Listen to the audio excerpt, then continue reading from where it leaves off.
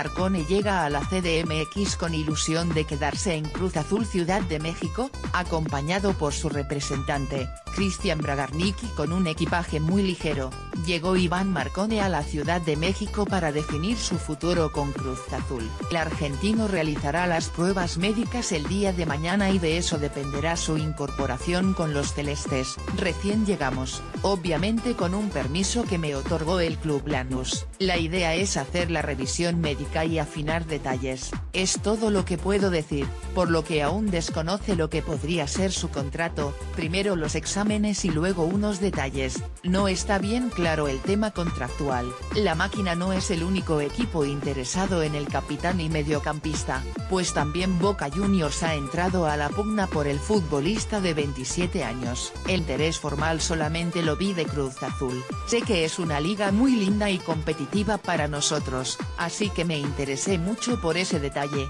además, Marcone reconoció la importancia que tendría el ser parte de la plantilla cementera para sus aspiraciones en la selección de Argentina, de la que actualmente está descartado por Jorge Sampaoli. Sería un paso muy importante porque yo tengo la ilusión de llegar a selección, si no es hoy será el día de mañana y es un club grande que me puede abrir muchas puertas, la ilusión es muy grande en el jugador que ya conoce la historia celeste y a Pedro Caixina. Por conocimiento propio y amante del fútbol conozco la historia de Cruz Azul que es un club grande y que se interese en mí. Estoy muy ilusionado de pasar bien las las pruebas y poder ser parte del equipo, sé que es un técnico con mucha personalidad que va a tratar de plasmar su idea porque está interesado en que Cruz Azul vuelva a pelear y ser partícipe del torneo, será el día de mañana cuando Iván Marcone se someta a las pruebas médicas de rigor, una vez aprobadas firmaría el contrato que lo convertiría en el primer refuerzo de la era de Ricardo Peláez,